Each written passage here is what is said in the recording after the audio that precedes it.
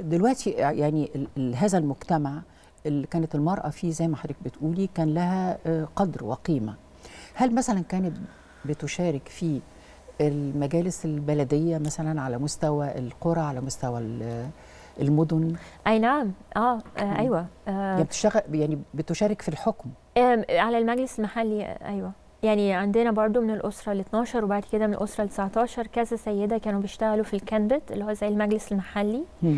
بس المجلس المحلي ما كانش بس معني بإدارة آه، أمور ال- ال- البلد الشوارع والبيوت إنما كمان لو في مشكلة صغيرة بين أطراف متنازعة كانوا المجلس المحلي ده الكنبت بيبقى هو ال- السلطة اللي بتعمل آه، قرار في المشكلة. فبالتالي يعتبروا كأن السيدات مش بس مشاركين في الحكم المحلي كمان كأنهم عضو هيئة محلفين أو عضو في مجلس قضاة مش قاضي إنما جزء من مجموعة بتحل النزاعات. طب يعني حضرتك دلوقتي ذكرتي طبعا إنها كانت بتتعلم وتعليم رفيع المستوى. وبالتالي ده أهلها إنها تكون مثلا في المجالس المحلية أو في موضوع الحكم المحلي. إحنا مش عارفين لو السيدات اللي كانوا في الحكم المحلي كانوا متعلمين آه، تعليم رفيع المستوى ولا تعليم ثانوي؟ لأن هي ممكن يبقى ناس عندهم حكمة حتى لو ما عندهمش تعليم عالي. إنما التعليم رفيع المستوى معروف مثلا من الاسره الرابعة وقت بناء. الأهرامات كان في واحدة دكتورة طبيبة وكانت مشرفة على أطباء. في المعبد.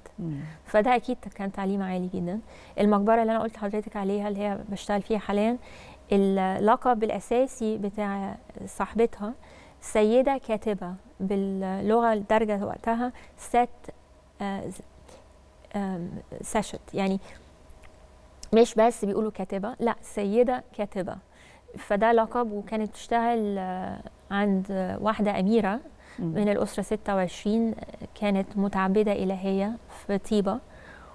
ودي كانت واحدة من خمس سيدات مهمين قوي في الوقت ده. آه، سلطة دينية وسلطة اقتصادية. وكان عندهم رجالة وسيدات في خدمتهم. فبس المقبرة دي بالذات لواحدة كاتبة. و... و... وبرجع تاني للكتاب بتاعي إنه لما المقبرة دي معروفة من زمان مثلا ومعروف إن صاحبتها كانت كاتبة مصرية. بس لما يتكلموا على أمية السيدة المصرية القديمة يقولوا لا مش هنبص على المقبرة دي لأنها عصر متأخر. في حين إنه العصر المتأخر ممكن يبقى فيه أدلة لحاجات موجودة من قبلها ما اخترعوش العجلة من الأول يعني. طب المجالس المحلية اللي كانت بتشارك فيها المرأة معنى كده إنه كان في مجالس أعلى من المجالس المحلية مثلا على مستوى البلد كلها. مصر كانت بشكل عام دولة ديمقراطية في عهد الفراعنة؟ لا إطلاقا. ما كانتش. ما كانتش آم، نظريا الملك هو الأول والآخر وهو اللي بيشرف على القضاء وهو اللي بيشرف على ال- الجيش طبعا.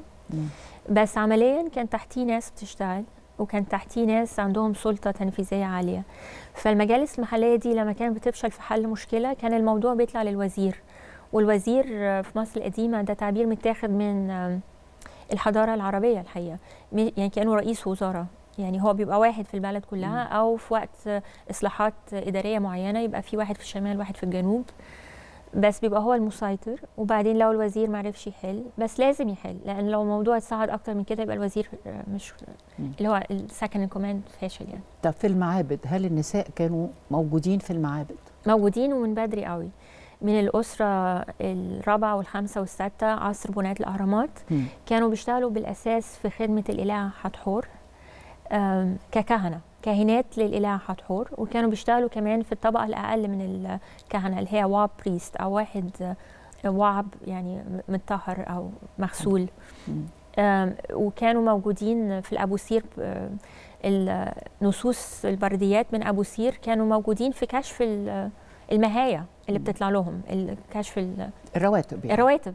الرواتب آه طيب تطورت اللغة آه، ال- اللي موجودة في مصر طبعا من آه، يعني في عصور الفراعنة المختلفة آه، إلى أن وصلنا إلى اللغة القبطية لما دخل ال- العرب مصر كانت إيه اللغة السائدة؟ اللي سائد كان القبطي واليوناني القبطي للجوابات العادية بين الناس طبعي العادية واليوناني لغة الإدارة عشان كان رغم إن وقتها كان حكم رومان إنما اليوناني فضل لغة الإدارة في مصر وقتها. مم. وكلمة بسيطة عن القبطي القبطي هو نفسه اللغة المصرية القديمة. لكن في فق- فترة من الزمن حوالي قرن ونص من الزمن من حوالي آم، 150 ميلادية لحوالي 300 ميلادية المصريين ما كانوش قادرين يبعتوا لبعض جوابات بلغتهم. كانوا عشان يبعتوا لبعض جواب يضطروا يترجموه لليوناني وبعدين يبعتوه. فمجموعة من المصريين مش عارفين هم مين بس كانوا ناس عارفة يوناني كويس وعارفة مصري كويس قالوا إحنا مش عارفين نكتب ديموتيكي خلاص ومش عارفين نكتب هيروليفي الهيروليفي نقش على الحيطة مش للكتابة العادية. مم. الكتابة العادية بتبقى هيراتيكي أو ديموتيكي. فقالوا طب إحنا ليه نصعب الدنيا على نفسنا؟ عملوا ال equivalent بتاع Franco Arab ها زي ما بنكتب على لبعض على فيسبوك أو كده. إحنا ونحط سبعة بدل الحاء وحاجات زي كده هم يعملوا نفس الشيء. زي ما الأتراك عملوا برضو لما غيروا من الكتابة العربي لكتابة لاتيني.